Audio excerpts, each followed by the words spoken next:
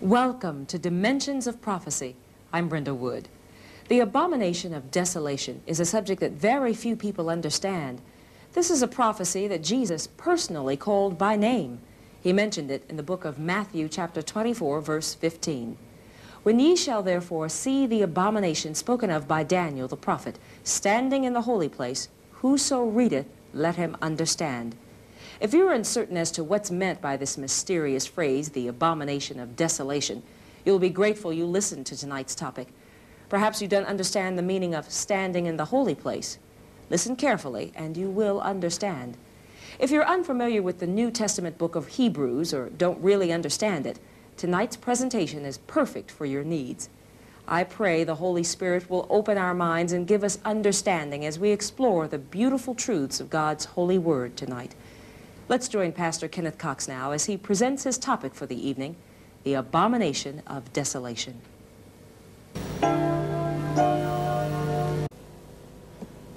Our subject this evening is the abomination of desolation. And I'd like for you to look at Matthew, the 24th chapter, and verse 15 with me, where Christ is speaking particularly about this prophecy.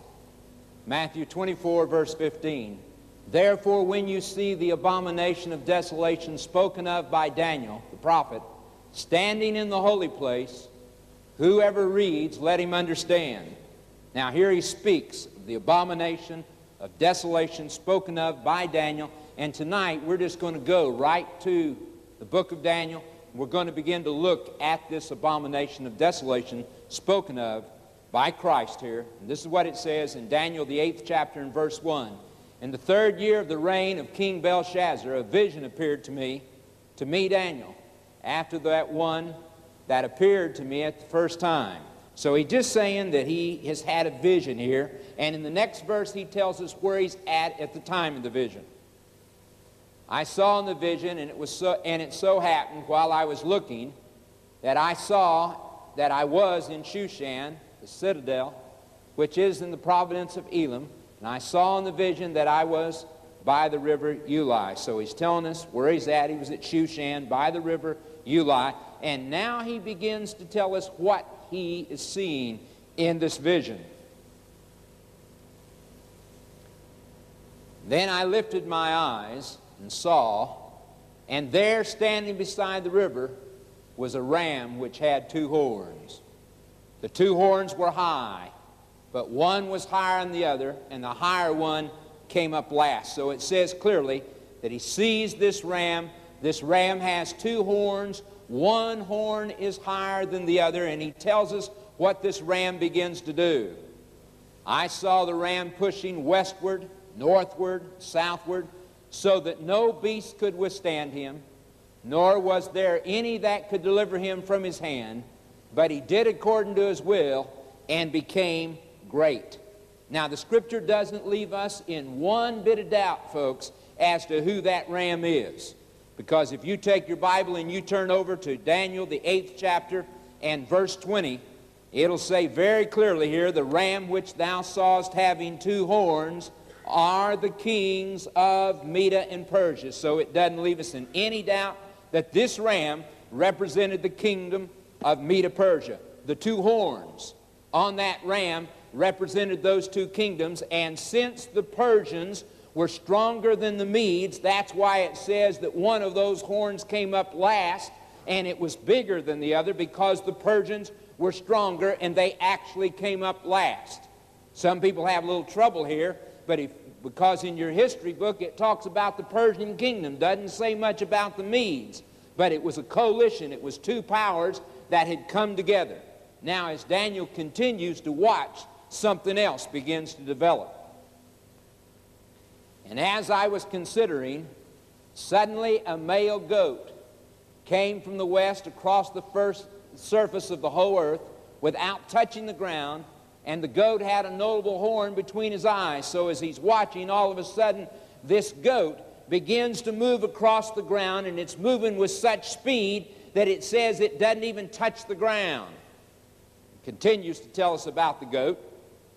Then he came to the ram that had two horns, which I had seen standing beside the river, and ran at him with furious power. So it says that these two animals, this ram and this he goat, are about to collide. And again, the scripture doesn't leave us in one bit of doubt as to who this he goat is because in Daniel the 8th chapter and verse 21, it says that the male goat or the rough goat is the kingdom of Greece and the great horn that is between his eyes is the first king. It says that very clearly. So we find that it talks about this ram and this goat the ram representing Medo Persia, the goat representing Greece. Now listen as the scripture begins to develop it farther on, and it says this. And I saw him confronting the ram, the he goat, confronting the ram. He was moved with rage against him, attacked the ram, and broke his two horns. There was no power in the ram to withstand him, but he cast him down to the ground and tramped upon him and there was none, no one that could deliver the ram from his hand. So it says that this he goat knocked the ram down, actually stomped the life out of him, broke his two horns. And as you read history, it makes it very clear that this he goat represented the kingdom of Greece. The great horn that is between his eyes was Alexander the Great. And Alexander the Great faced the Medes and Persians, Darius and the Medes and Persians. Darius had one million men on the plains of Arbela. Alexander the Great stood there with 20,000, implemented a new type of warfare, and overthrew Darius of the Medes and Persians. So that's why it says that the ram's two horns were broken and that he stamped upon him. But listen very carefully because the scripture continues step by step to tell us exactly what's taking place here. Therefore, the male goat grew very great. Alexander took his army. They marched for seven years without ever going home. Took everything that he could lay his hands on. History even says that he wept because there was nothing else to conquer. But when he became strong, the large horn was broken, and in place of it, four notable ones came up towards the four winds of heaven.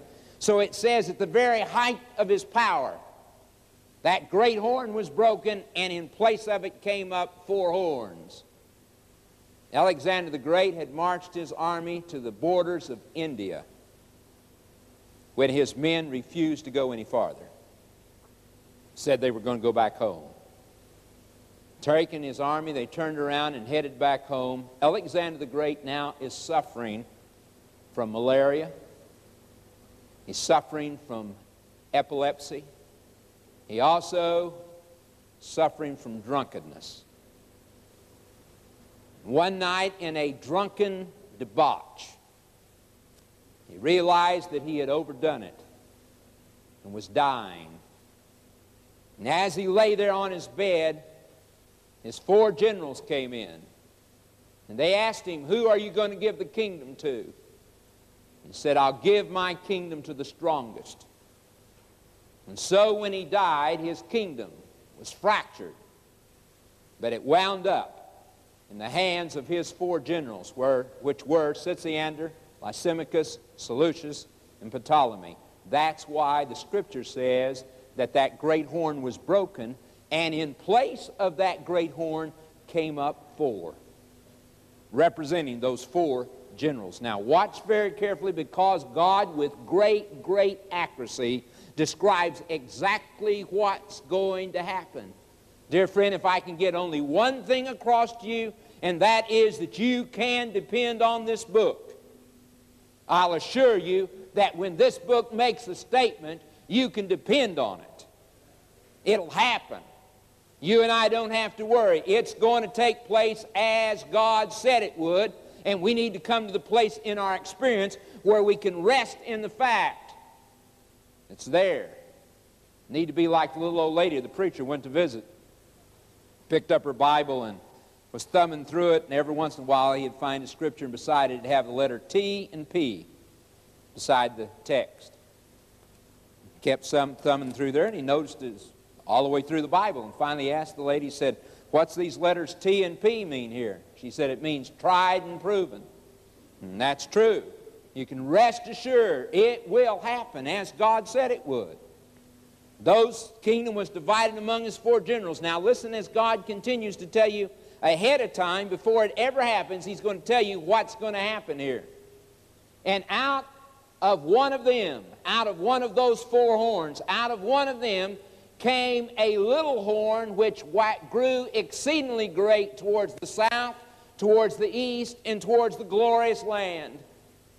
Said, out of one of those four horns came forth a little horn which became very great. History tells you that one of those generals, Seleucus, began to give nurture to treason,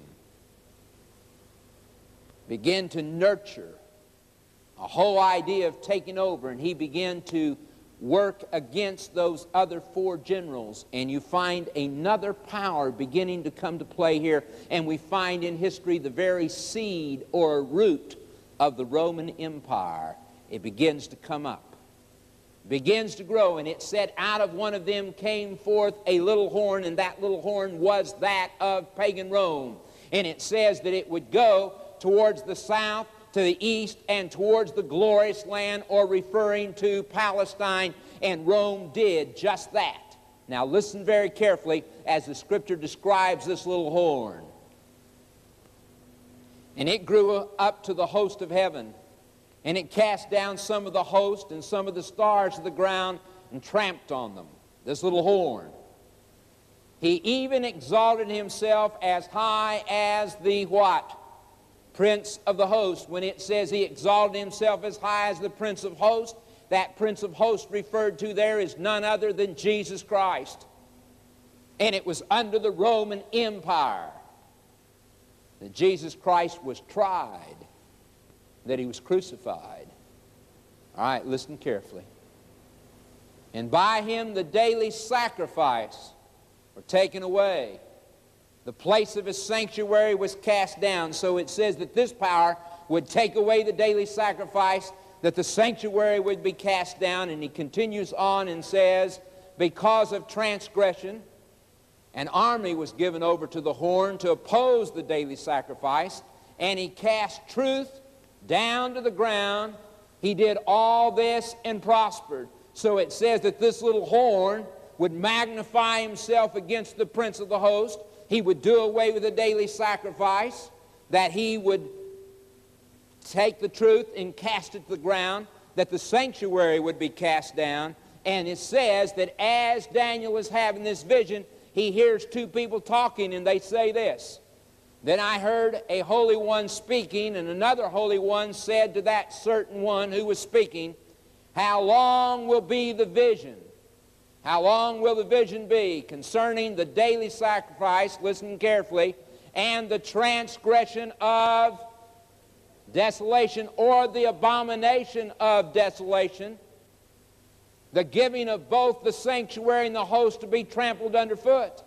Said, How long is this going to go on? How long is this going to take place? And he gets an answer in verse 14. And he said to me, for 2,300 days, then the sanctuary will be cleansed.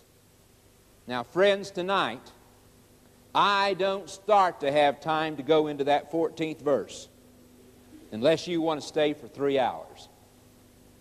Just no way. I'm not going to endeavor to go into that 14th verse.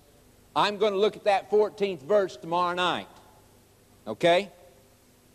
This prophecy made here in Daniel 8:14, just let me tell you right now, this is the most marvelous prophecy in all of Scripture. No agnostic, infidel, or atheist has ever been able to answer that text. If you got a friend that doesn't believe in the Word of God, bring him tomorrow night. Because this text told hundreds and hundreds of years before it ever happened, it told the exact year that Jesus Christ would die on Calvary. No atheist, no agnostic, no infidel has ever been able to answer that prophecy. One of the most marvelous prophecies there is in Scripture. Said unto 2,300 days, then would the sanctuary be cleansed. But there are certain things tonight that you and I have to understand before we can understand tomorrow night's subject. What we've got to get clear is we've got to understand what he meant when he said the daily sacrifice would be taken away. What's he talking about? What's he mean when he says the daily sacrifice would be taken away? Also, he said that the sanctuary was cast down. What does he mean? The sanctuary was cast down. What's he talking about when he said the truth would be cast to the ground? Those are things that we need to have clear in our mind before we can put it all together before we can really understand the abomination of desolation. So that's what we're going to look at tonight. We're going to establish those things. We found out who the ram was. We found out who the he goat was. We found out who this little horn was, but it says this little horn would do certain things. So tonight, we're going to look at some things and establish certain things. You see, when God told Moses come up into the top of Mount Sinai. And Moses went up there. And God communicated with him and talked with him. He gave him instructions about something called the sanctuary. And he said, particularly to the children of Israel and to Moses, here in Exodus 25, verse 8, he said, Let them make me a sanctuary that I may what? Dwell among them, and God gave Moses all the detailed instructions as to exactly how that sanctuary was to be built. It was to set in the middle of the camp of Israel. The tribes of Israel were to camp around it, three tribes on each side. This was where God was to dwell with the children of Israel. This sanctuary had a court. This part was known as the court here. This was the tabernacle. And we're going to take a few minutes to look at the, the sanctuary, look at the furniture, see what's involved in the sanctuary. To begin with, as I said, out here was what was known as the court. The tabernacle or the sanctuary had two compartments. The first compartment, this compartment here, was called the holy place. Did that ring a bell? That ring a bell? Now you're thinking, aren't you? Huh? You know, I had a professor in school that told me it wasn't harmful nor fatal to think. Okay? So I hope that you're turning the wheels a little bit. Jesus said, when ye therefore shall see the abomination of desolation spoken of by Daniel the prophet, standing in the what? Okay. Put it together. This was called the holy place. This other compartment of the tabernacle over here was called the most holy place. This was the tabernacle. Now let's quickly take a look at the furniture. Because if you would go to the tabernacle and you were to walk inside the court here, you would basically find two pieces of furniture. One, you would find what was known as the laver. This was a bowl, a large bowl that held water, and this is where the priest washed their hands and their feet because they dealt with a blood sacrifice. Also in the court was what was known as the altar of sacrifice. This is where the children of Israel came, they brought the lamb, the priest took the lamb, and after it had been slain, it was placed on the altar of sacrifice and burnt. That was the altar of sacrifice. Those two pieces of furniture out in the court. Now let's take a quick look at the tabernacle. If you go to the tabernacle, walk inside the court, and go through the front opening of the tabernacle or the sanctuary, as you walked inside, one of the things that would greet you directly in front of you, just a little bit off to the left, would be the altar of incense. This is where the priests came, sprinkled incense, but they also sprinkled the blood of the Lamb. In fact, the scripture says they placed the blood on the horns of the altar. The horns of the altar were the corners of the altar. That's where they placed the blood as they confessed the person's sin. Also, on the other side, as you came in on the left hand side, was the seven golden candlesticks. These candlesticks burned all the time. They gave light to the holy place, but it also represented the presence of God. And on your right, as you came in, was the table of showbread. On the table was actually 12 cakes of bread, one cake for each one of the tribes of Israel. The priests were free to eat of this. They could eat the showbread. But it was there, had strong symbolic meaning. This was what was inside the holy place. All right, let's say tonight that you lived back then. Let's say that you've done something wrong. Let's say you've committed a sin and you're coming to have your sins forgiven. The scripture says that you were to bring a lamb. It's what you were to bring. You were to bring a lamb you were to bring it inside the court, and when you brought it inside the court, the scripture says that you were to take and place your hands on the head of that lamb and confess your sins. There were certain restrictions about this lamb that you were to bring. Do you know what it was? That lamb was to be without spot, out blemish. Why? Represented Jesus Christ. Yeah. They would bring the lamb. If they could not afford a lamb, they could bring a turtle dove. But they were to place their hands upon that animal and confess their sins. After they had confessed their sins on the head of the lamb, then the priest gave them a knife and they took the life of the lamb cut its throat. Folks, get it clear. It's not very pretty, but get it clear. There is no such thing. There is no such thing as your sins being forgiven without the shedding of blood. It took the blood of Jesus Christ was required that lamb typified the Lord Jesus Christ, and therefore it required its life, its blood. Cut its throat. The priest caught the blood in a basin. Now he's going to take that blood, he's going to part the opening veil and walk inside the holy place, and he's going to sprinkle that blood on the altar of incense. Put it on the horns of the altar and confess that person's sin. This went, on every day.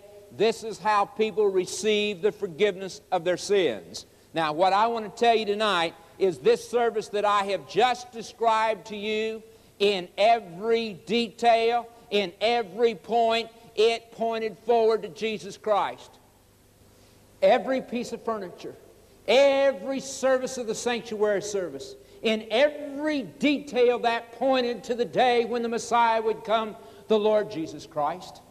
When he was here on earth, and he said so many things to those Jewish people that certainly shouldn't have, should have done something for them. When he said, I am the light of the world, Oh, they knew about the seven golden candlesticks there in the sanctuary service. They should have understood that it was referring to him, especially when he said, I am the bread that cometh down from heaven. They should have put that all together. For hundreds of years, that sanctuary service had typified the Lord Jesus Christ. And those people, too blind to see it. Too blind to see it. And what worries me is we've got the whole New Testament and maybe we're too blind.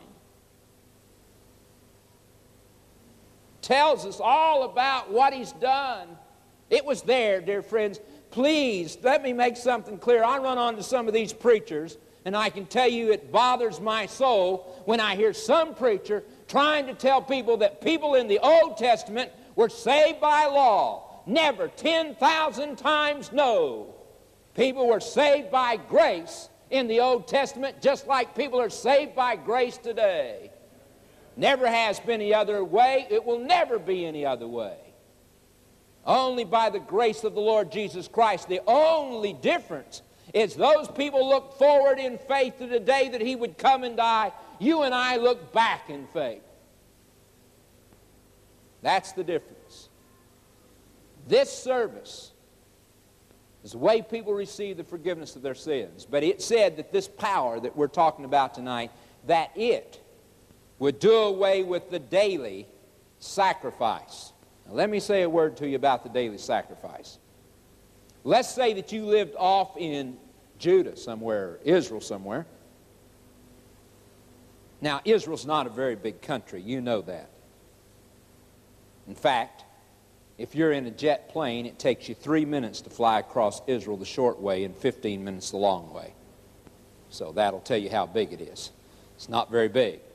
But nevertheless, you could be 100 miles from Jerusalem, and in that day, that would have been a long walk. So you couldn't get to the tabernacle.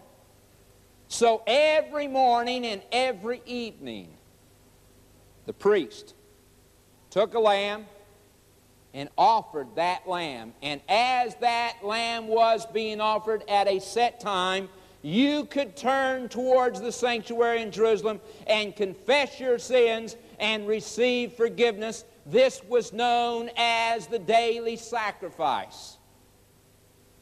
That's the way you receive the forgiveness of your sins.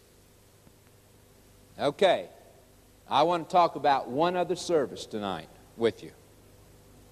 Because it said in Daniel 8, in verse 14, it said very clearly, unto 2,300 days, then shall the sanctuary be cleansed.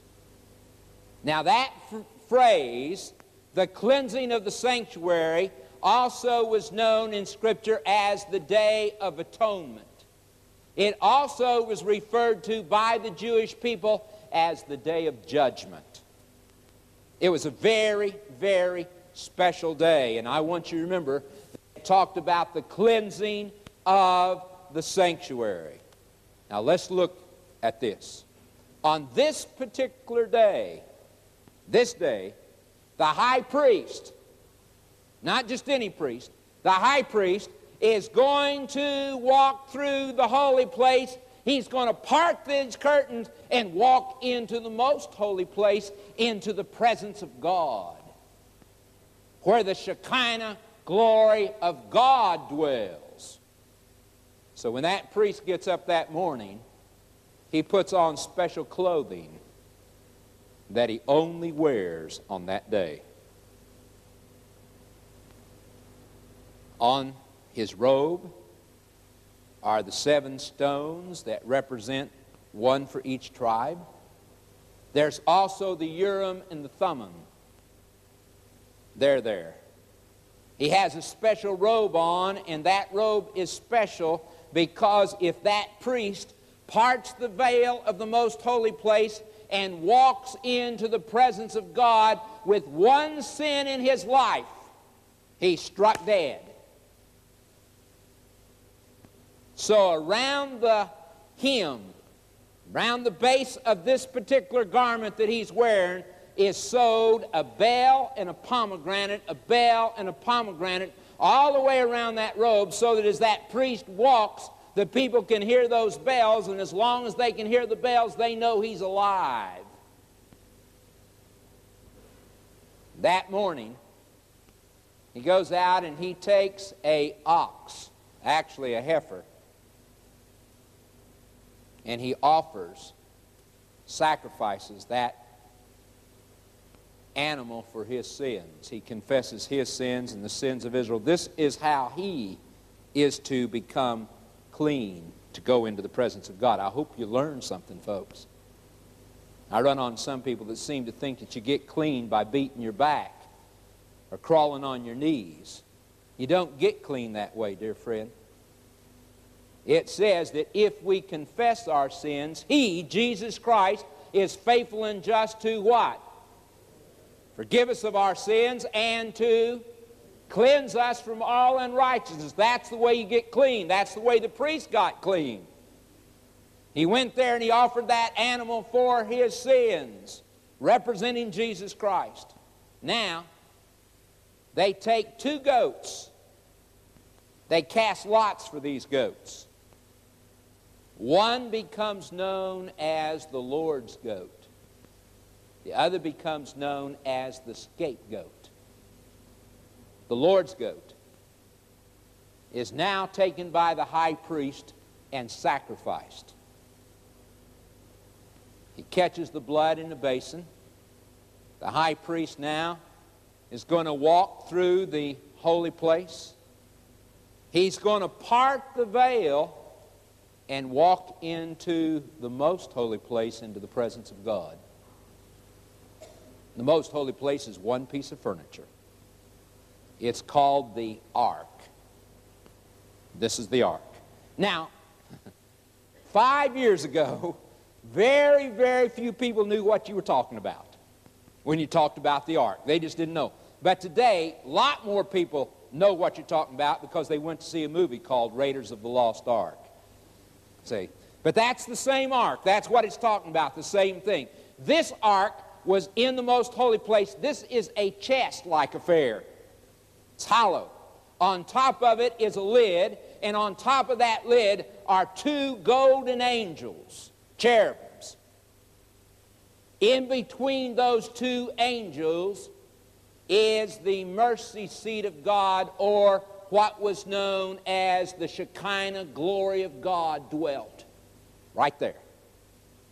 If you were to pick the lid up off of that ark, inside it you would find three things. You'd find Aaron's rod that budded you'd find a pot of manna and the Ten Commandments that God had written with his own finger on tables of stone. Those Ten Commandments are inside that ark because they are the very basis and foundation of God's government. And, dear friends, they will always be throughout eternity. It will never change. Jesus said, Not one jot nor one tittle will ever pass from the law. It won't happen. It is the foundation of God's government. You see, when God created Adam, he needed four commandments. Do you know that?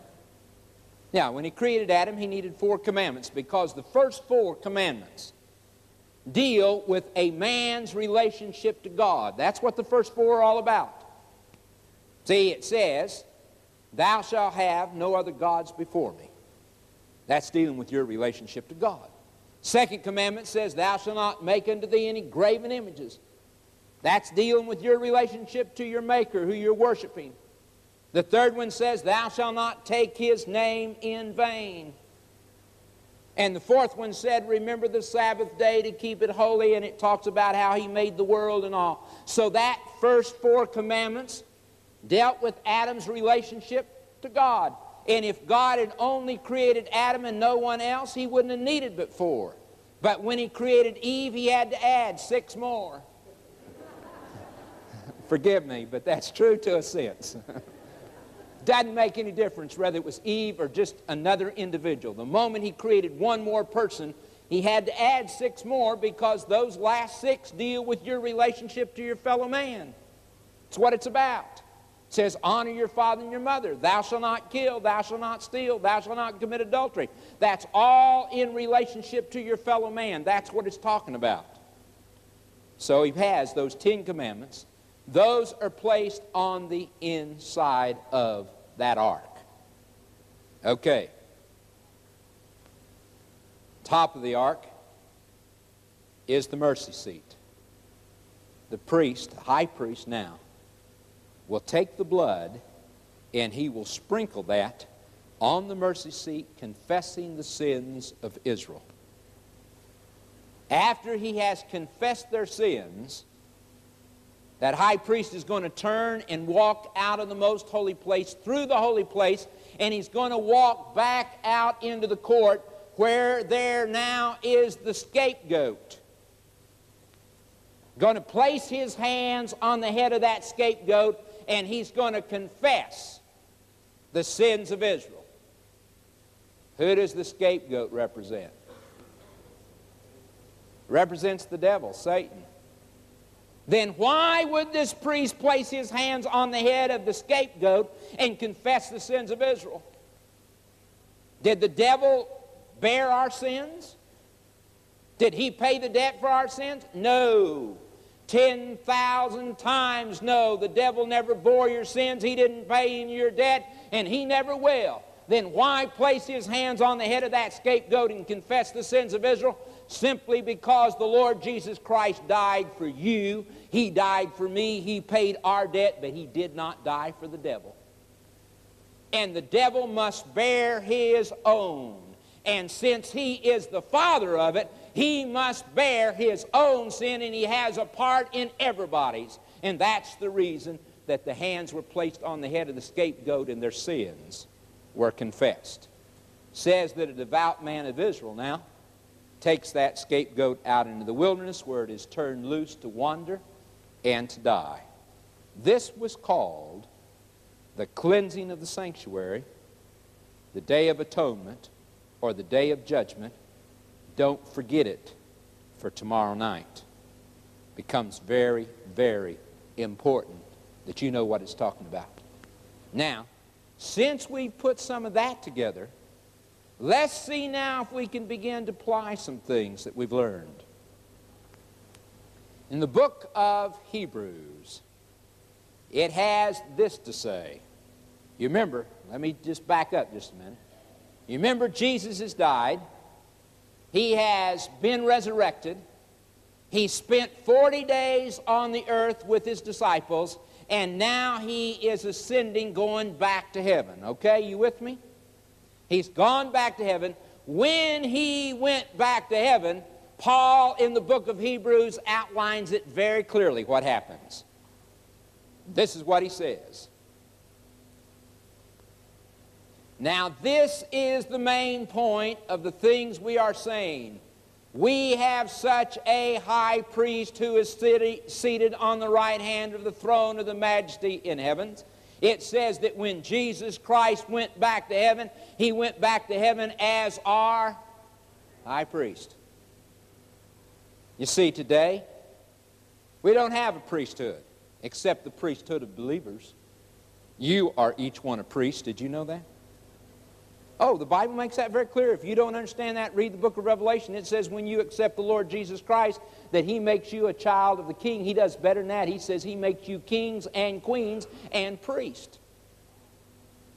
So we're all priests. But Jesus Christ is the high priest. He's the high priest. Now listen very clearly because it's going to tell us some of the things that He does a minister of the sanctuary and of the what? True tabernacle which the Lord set up and not man. Oh, it's not talking about the sanctuary on earth. You know what happened. You remember the sanctuary was here, and then David decided he wanted to build the temple. You remember? And God told him he couldn't because he was a man of blood.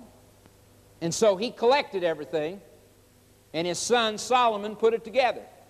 He had Solomon's temple. And then you remember it was destroyed. And after it was destroyed, later, Herod, well, I should say before Herod, you remember Zerubbabel and, Jer- uh, and uh, who else? Ezra, Zerubbabel, Nehemiah, all those came back and they rebuilt the temple. You remember that? And then Herod came along and he refurbished it. And then it was destroyed in 70 AD. When it says that there's a sanctuary which the Lord set up and not man, it's not talking about the one here on earth. Not talking about that. It's talking about the one up in heaven that God set up. Man didn't set it up. The Lord set it up. It's up in heaven. But Christ having come as a high priest of the good things to come, by the greater and more perfect tabernacle, not made with hands, that is, not of this creation. Not human hands didn't make it, the Lord made it. Special temple. For Christ has not entered the holy place made with hands, which are a figure of the true, but into heaven itself now to appear in the presence of God for us. So it says clearly that Jesus is up in heaven tonight, dear friends, and he is your high priest, ministering up there in your behalf. I don't know, did you know that the Lord Jesus Christ knows you by name? That's what the Bible says. It says he knows every one of you by name. It even says in the scripture that he knows your address. Knows all of you. He knows all about you. That every hair of your head has been numbered that He's concerned about you. He loves you. He is your high priest. I can go to Him anytime. Talk to Him. I can find forgiveness anytime. Right? Oh, learn it, dear friends. Heaven is open for business 24 hours a day. Go to Him. I don't have to go to bed with a soiled record. I can go to bed every night clean. Let me tell you another secret. You write it down in your book. Five minutes of prayer in the morning will save a half hour of confession at night. So just spend some time with the Lord in the morning. It makes a great, great difference in your life. Great difference. Jesus is our high priest. Now it says that this power would cast the sanctuary down. And what I'm trying to tell you, if you go back and you study church history, you'll find that that very power did everything it could to do away with the sanctuary. You see, because if you spend some time studying the sanctuary and you spend some time in the book of Hebrews, you're going to see the ministry of the Lord Jesus Christ like you have never seen it before. You'll learn things about Christ and His mercy and His kindness and His love towards you, dear friend, that will thrill your soul. And the devil knows that. And he doesn't want you to understand anything about the sanctuary. It says that the daily sacrifice would be done away with. That's how people receive the forgiveness of their sins. I hear people being told all kinds of things. I hear people today being filled with a bunch of psychology that is absolutely anti Christian. They have all kinds of things to offer you to find release for your guilt. And, dear friend, let me tell you something there is nothing like the blood of Jesus Christ. It says the blood of Jesus Christ cleanses us from all sin. Don't care what it is, you can be clean. I don't have to go around and carry any burden on my back. I don't have to be bound down with sin all the time. I can have release from that. All you got to do is go to Him. And people today are being told all kinds of things rather than going to Jesus Christ and finding forgiveness and release from guilt. If you haven't had a spring in your step, in a while, then, dear friend, you might try asking forgiveness. It certainly does it for you. And this is what it's talking about. In the last days, there'll be a, and this, by the way, this text here that Christ referred to in Matthew 24 15 has to do with the second coming, and he's saying in the last days there's going to be an effort made to help people forget how they receive forgiveness. That's what it's talking about. It says that the truth would be cast down. The truth of God's Word. And I find people offered everything in the world other than a clear, Thus saith the Lord. It bothers me when I hear preachers stand in the pulpit and preach a whole sermon and don't even quote a word of Scripture. Now, dear friends, we need to come to God's Word. We need to see what it says. Know what the truth is. As I told you before, there's one thing you can depend on. You can depend on this book. It's the same as food to you, spiritually. You need to eat. You need to eat every day. There's some of you that are starving to death spiritually. You need to eat. And as you do, you'll find it'll change many, many things. You see, the Bible simply speaks of Jesus Christ as our high priest. It talks about him as the sacrifice, the lamb. Refers to him as the good shepherd. A friend of mine was over in the Middle East, had one day left, decided he wanted to go out and climb one of the mountains. Go out from Jerusalem, there's mountains out there. And so he decided he wanted to go out and climb one of those mountains. He hired him a guide.